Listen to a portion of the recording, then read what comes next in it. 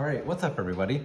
This is going to be an explanation for Omkar and Forest, problem E of Codeforces round 724. Now, just as a disclaimer, the solution to this problem is very short and kind of troll. So first of all, if you didn't solve this problem and got trolled by a solution, I apologize in advance. And two, um, this means that I'm pretty much not going to go over any implementation details whatsoever. I'm just going to go over the motivation behind how you get to the final formula. So I think it's actually like easier to explain. It's easier to give you the formula first and then explain how we got this formula in the first place. So if we let, for each test case, if we let n, obviously n is equal to number of rows, m is equal to number of columns, and we define a third variable, k.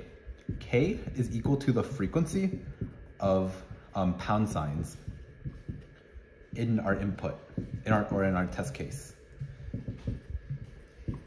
And so this represents like how many spots can be a number that doesn't necessarily have to be zero. And so what, and so the final formula will look something like two to the power of k minus k over n times m, where this part over here is floor division. So this is zero if k is strictly less than n and m, and it's equal to one if k is equal to n and m. In other words, if the entire grid is full of pound signs. Okay, so you might be thinking, this is a really simple formula. How did I not get this officially? Well, I mean, the thinking behind this formula is somewhat complicated.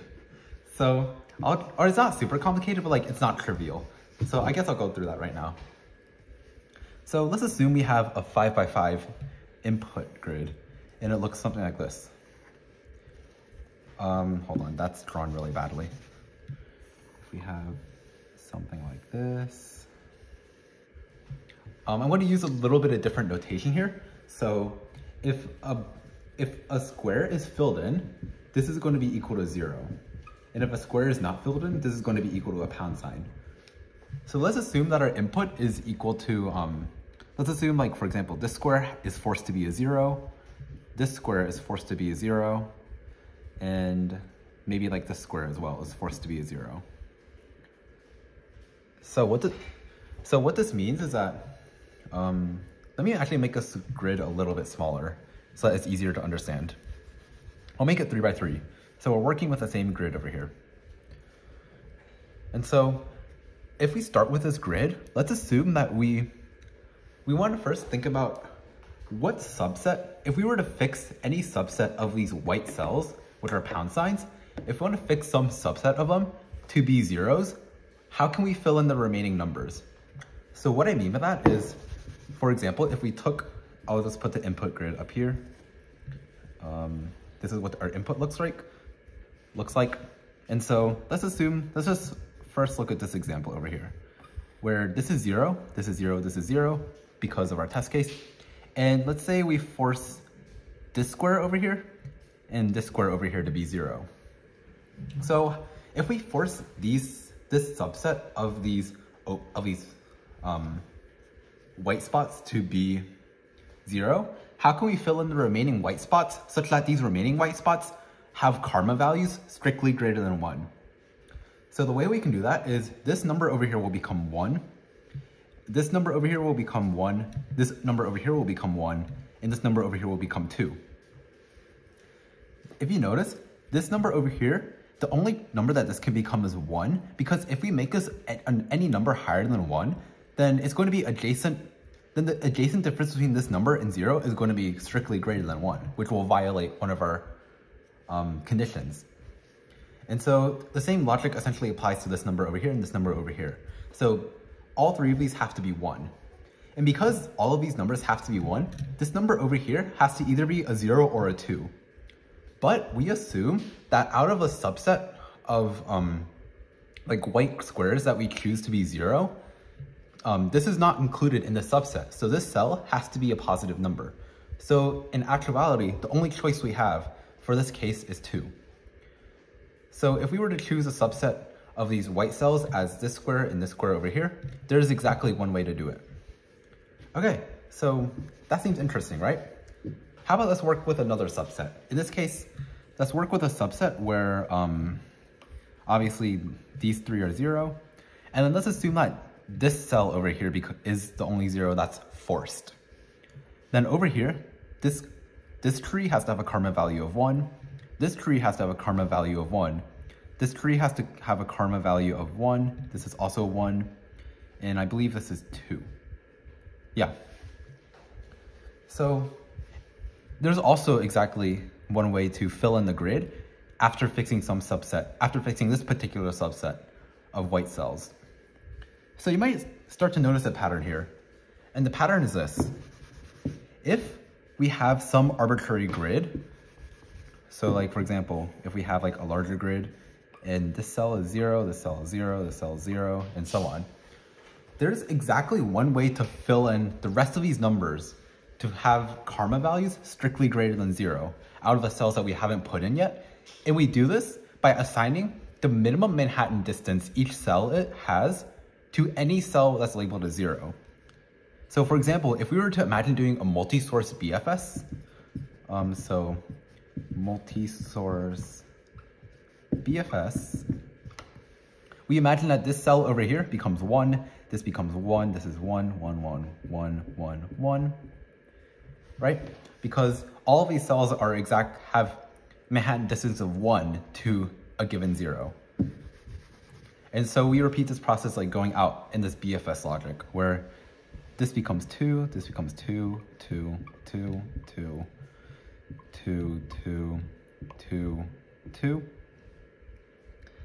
And then we keep on going out and we go out like one more layer where this becomes three, this is three, uh, three, three. And then this over here, one more layer, this is four. And so this is the only way we can actually fill in this grid. And the reason why is this.